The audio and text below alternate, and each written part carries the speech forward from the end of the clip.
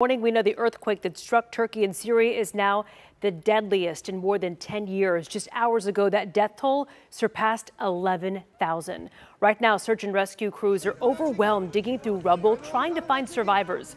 American teams join the efforts today, and in all, about 70 countries have sent aid to Turkey and Syria. At least 150,000 people in Turkey are homeless after that quake, with many forced to sleep in their cars or makeshift shelters out in the cold.